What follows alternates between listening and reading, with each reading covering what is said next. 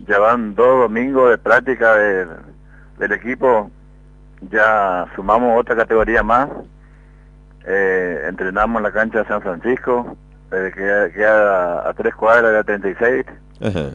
este, en categoría 2004, 2005, 2006 y la 2007, 2008 y la 2009 son chicos de, de los más grandes son chicos de 14, 15, 16 años y los chiquitos desde 12 y 13. ¿viste? Bueno, así que en la cancha de las 36 no, no están entrenando. En No, porque no están en condiciones en nuestra cancha. Ajá.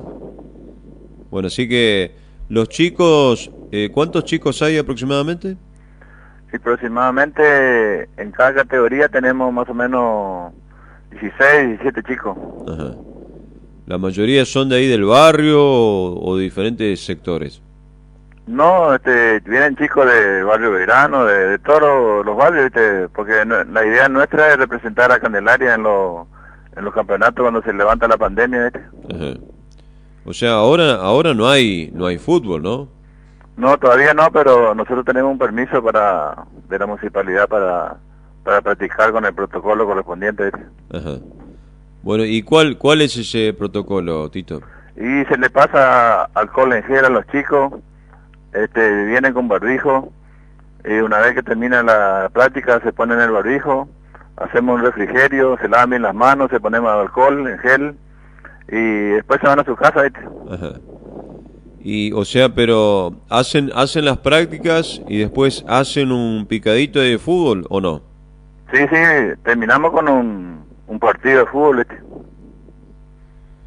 Bueno, ¿estás conectado, Tito, con los diferentes delegados de equipos de, de, de aquí de Candelaria o de Profundidad, por ejemplo? ¿Seguís conectado?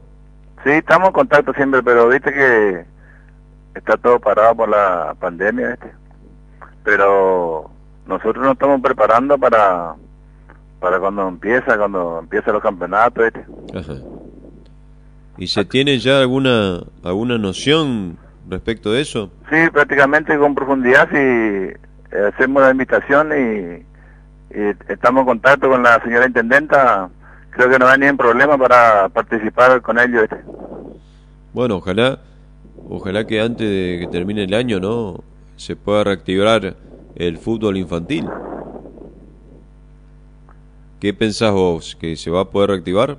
Y sí, como ya están abriendo, los, la, practicando los deportes, están entrenando, los clubes están entrenando con el protocolo correspondiente.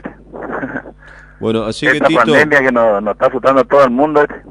No, sin, sin dudas. ¿eh? Eh, Tito, eh, ¿qué día de prácticas tienen en, en cancha en San Francisco entonces?